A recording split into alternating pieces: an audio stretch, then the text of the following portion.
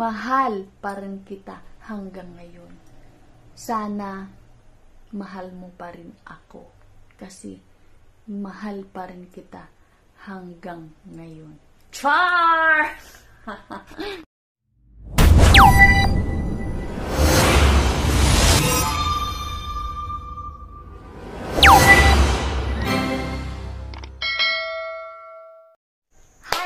guys! Welcome back to my channel! So for this video is ito yung mga uh, may mga ex. May ex. Merong mga ex. Wow! May ex dyan. Ayan.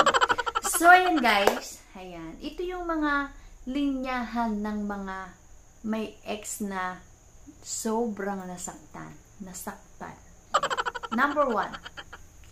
Sabi, buhay ka pa ba? Ayan. Tangina. Namatay ka na sana. Sumuksok ka sa panty ng nanay mo. Ayan. Oh my God! Sana hindi na lang kita nakilala. Sana hindi na lang kita sinagot. Sana hindi na lang kita minahal noon pa. Sana hindi na lang kita tinulungan. Sana pinabayaan na lang kita. Sana hindi mo ako pinaasa. At sana ikaw na lang sana ang namatay. Sana ikaw na lang yung ewan. Ewan ko sa'yo. So, ayan. Yan yung mga linyahan ng mga ganun, no? Ng mga sobrang nasaktan. Pero, ito naman yung mga nakakatawa na mga may ex. Ayan. Ayan. Yung may nakaraming ex na gusto na lang tumawa. Tawanan na lang yung experience sa ex. Ito yung mga linyahan. Ayan. Wow! Hi, ex. Andito pa pala yung panty mo. Wow! Yung brief mo. Ayan. Hi, ex. At ito naman yung kakaibang tanong. Masarap ba ang bilasa sa sariwa? Char! So, yan.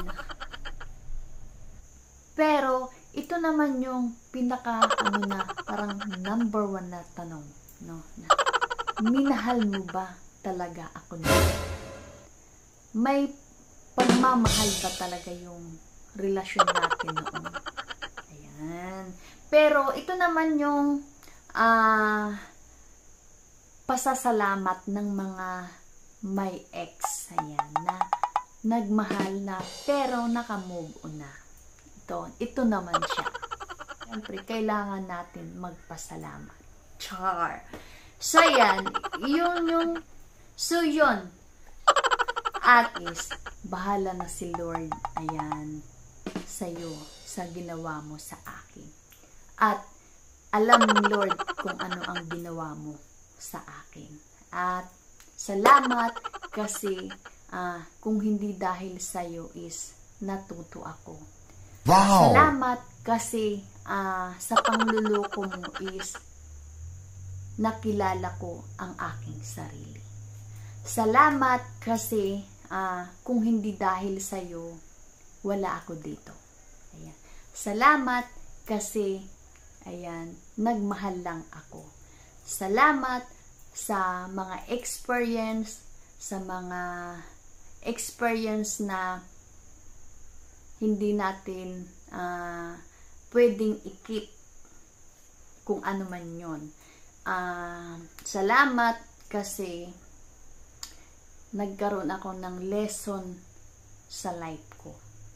And salamat kasi sabi nga yan is Ah, nagmahal lang ako. ah, nagmahal lang ako pero hindi mo ako minahal. Char! At ito naman yung mga linyahan ng mga gustong makipagbalikan na yun sa ex. Uy, wag na uy.